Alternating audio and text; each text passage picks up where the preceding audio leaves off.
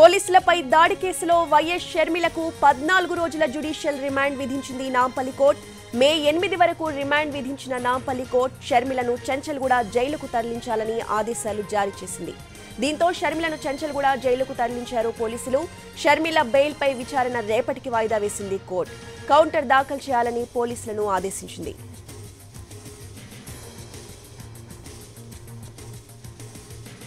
ఇక పోలీసులపై దాడి కేసులో వైఎస్ షర్మిలకు పద్నాలుగు రోజుల జ్యుడిషియల్ రిమాండ్కి సంబంధించిన పూర్తి అప్డేట్స్ మా ప్రతినిధి సుధీర్ అందిస్తారు.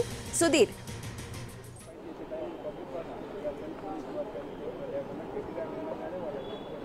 విధి నిర్వహణలో ఉన్న పోలీసుల మీద చేయి చేసుకోవడమే కాకుండా విధులకు ఆటంకం కలిగించారనే కేసుల నేపథ్యంలో దాదాపు బంజారాహిల్స్ పోలీసులు నాలుగు సెక్షన్ల మీద పోలీసులు షర్మిల మీద కేసు నమోదు చేశారు. దీంతో వైఎస్ఆర్టీపీ అధ్యక్షురాలు వైఎస్ షర్మిలకు పద్నాలుగు రోజుల రిమాండ్ను విధించింది నాంపల్లి కోర్టు. పద్నాలుగు రోజులు అంటే మే ఎనిమిదవ తేదీ వరకు కూడా రిమాండ్ విధిస్తున్నట్టు కూడా స్పష్టం చేసింది. అయితే రిమాండ్ అయి రిమాండ్లో అయిపోయి దీనికి సంబంధించి వెంటనే వాదనలు కూడా వినిపి వినిపించిన పరిస్థితి అయితే కనిపిస్తుంది. ముఖ్యంగా బెయిల్కి సంబంధించిన వాదనలు కూడా వినిపించారు. అయితే బెయిల్కి సంబంధించిన వాదనని రేపు కంటిన్యూ చేసే అవకాశం కూడా ఉన్నట్టుగా గుర్తొస్తుంది ప్రస్తుతం చెంచల్ కూడా జైలుకి అయితే తరలించారు. చెంచల్ కూడా జైలుకు తరలించి రేపు మళ్ళీ వాదనలు వింటామని చెప్పేసి జడ్జి చెప్పిన పరిస్థితి అయితే కనిపిస్తుంది. ముఖ్యంగా వైఎస్ షర్మిల ఈరోజు పోలీసుల మీద చేసిన దాడి ఏదైతే ఉందో అంటే వారు దాడిగానే చెప్తున్నారు. దీనికి సంబంధించి ఇప్పటికే పోలీసు సంఘం అధిక అధికారులు కూడా దీనిపై పూర్తి స్థాయిలో ఆగ్రహం వ్యక్తం చేశారు. మరొక వైపు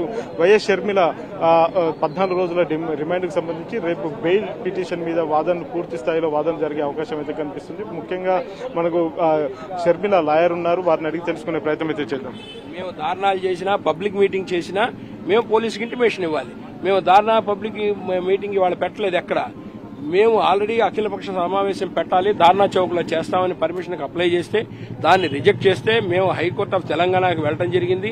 ఇరవై ఒకటి నాలుగు రెండు వేల ఇరవై మూడున ఆర్డర్స్ పాస్ చేశారు. రాత్రి ఆర్డర్ అప్లోడ్ చేశారు. ఇవాళ ఆర్డర్ కాపీ తీసుకున్నాం. మార్నింగ్ అడిషనల్ కమిషనర్ గారికి ఇంటిమేషన్ ఇచ్చాం. ఫార్టీ ఎయిట్ అవర్స్ లోపల మేము తెలియపరచాలన్నారు. మేము ఫార్టీ ఎయిట్ అవర్స్ ముందు చెబుతున్నాం. మేము ధారణా చేయడానికి సిద్ధంగా ఉన్నాం. ధారణా చౌక్ అని. ధారణా చౌక్ పర్మిషన్ ఇవ్వకపోతేనే హైకోర్టుకి వెళ్ళిన వాళ్ళం సిట్లో ధారణా చేయడానికి మాత్రం మేము వెళ్ళిపోతామా? కావాలని ఇప్పుడు మమ్మల్ని రిస్ట్రైన్ చేయడానికి ఏదో విధంగా అభియోగం మోపాలని వాళ్ళే ఆవిడ రిస్ట్రైన్ చేయడం మొదలుపెట్టి ఇటువంటి అభియోగాలు తీసుకొచ్చి ఫాల్స్ కేసులు పెట్టి. లేదండి మేము సిట్లో ధారణా చేస్తామని ఎక్కడ కాల్ చేయలేదు కదా.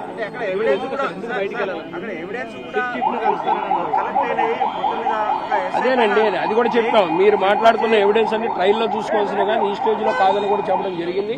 దానికి జడ్జి గారు కూడా దాన్ని కూడా నోట్ చేసినారు. సో రేపు మార్నింగ్ లెవెన్ ఓ క్లాక్కి we will have a clarity we feel that will get justice tomorrow